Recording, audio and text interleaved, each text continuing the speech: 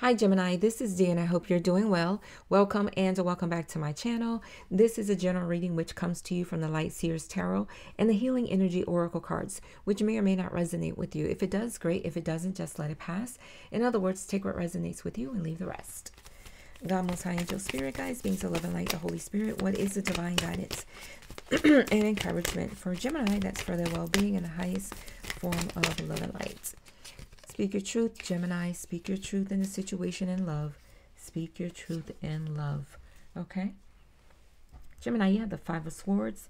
So, someone may be doing something deceitful behind your back and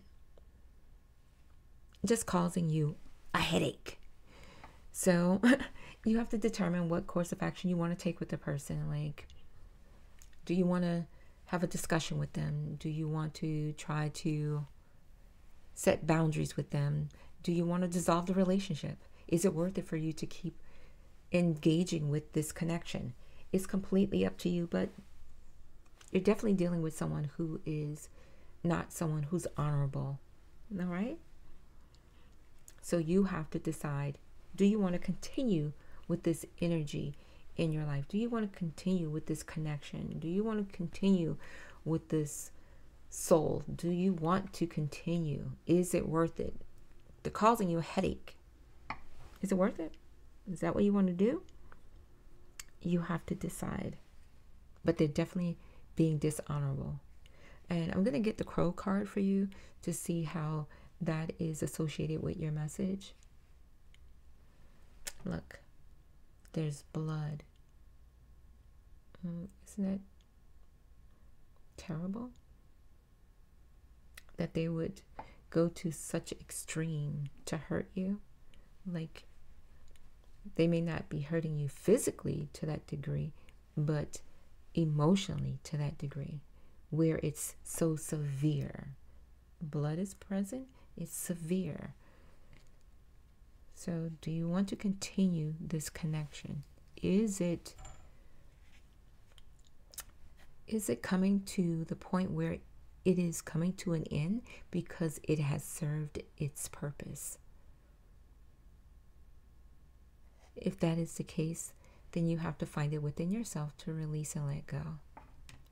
All right? Five is the number of change and transformation because it's the Five of Swords. Okay. With the crow, the key word is transition. The message is which part of your life is or may be going through a transition. Maybe you are changing relationships, careers, or cities. Whatever it is, the crow is signal, signaling that you are ready to make the change. You're ready for it. Some relationship come come to an end. Sometimes you think you know someone and you really don't know them until God Most High shines the light on them, till the light is shined, has been shined on them. Am I saying that right? Anyway, you know what I'm talking about. until the light is shined on, until the light shines on them. Then you really truly know them. It's not until then. But you're ready for this change. You're ready for it, even if you don't feel like you're ready for it. You're ready for it.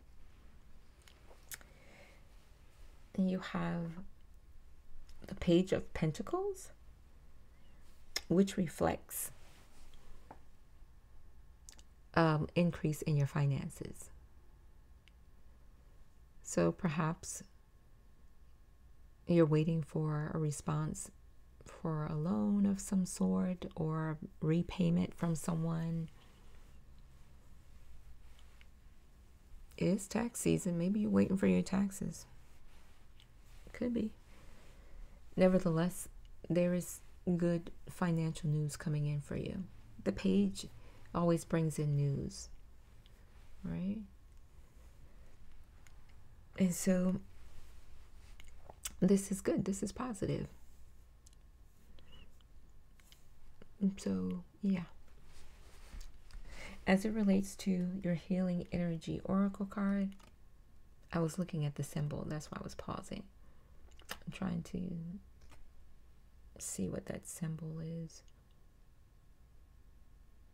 But it really, I really can't tell. But it's beautiful. And maybe some of you are considering using sigils. That's what I'm getting. Um, or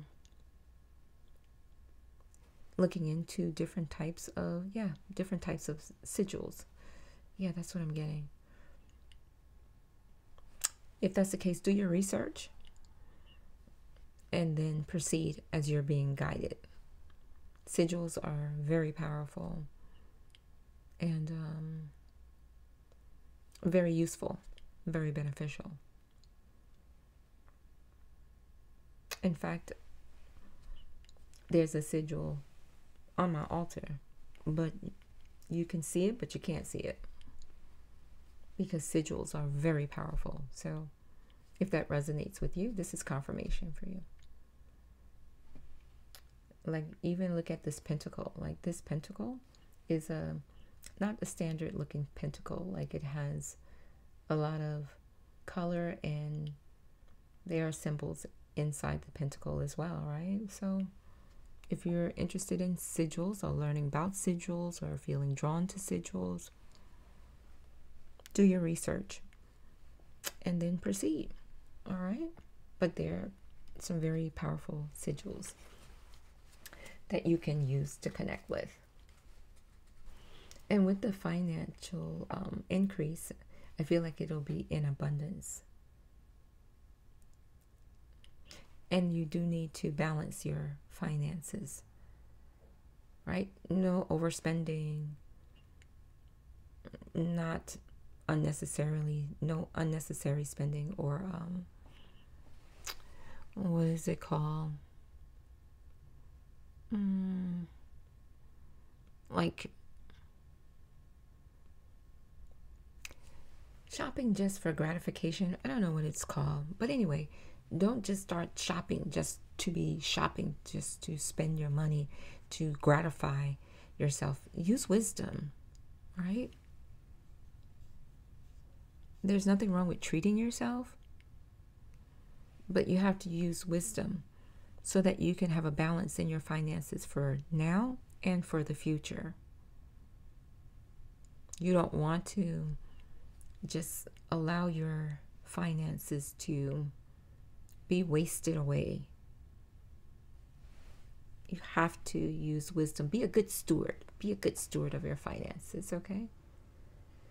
Look at her. She's just embracing the pentacle and balancing everything out. And I feel like that's what you're being encouraged to do as well. All right. As it relates to your healing energy oracle card, that's for your well being in the highest form of love and light. Let's see what you have. You have attention. The message is I am attentive to all that manifests within me.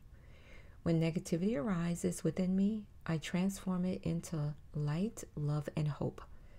My love for others is unconditional. I forgive. My desire to improve is constant. I am firm, brave, and hardworking. So that's beautiful. So, this is the healing energy of attention. That's beautiful. Look at that energy. I hope you can feel the power that it radiates. It's absolutely beautiful, Gemini. So, this is your message. I hope it's been helpful. Thank you for joining me here. If you're not already subscribed, go ahead and press that subscribe button and join us here because I would love to have you.